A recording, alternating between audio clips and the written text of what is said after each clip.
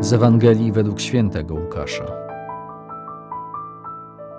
Jezus powiedział do pewnego przywódcy faryzeuszów, który go zaprosił: Gdy wydajesz obiad albo wieczerze, nie zapraszaj swoich przyjaciół ani braci, ani krewnych, ani zamożnych sąsiadów, aby cię i oni nawzajem nie zaprosili i miałbyś odpłatę. Lecz kiedy urządzasz przyjęcie, zaproś ubogich, ułomnych, chromych i niewidomych, a będziesz szczęśliwy, ponieważ nie mają czym Tobie się odwdzięczyć. Odpłatę bowiem otrzymasz przy zmartwychwstaniu sprawiedliwych.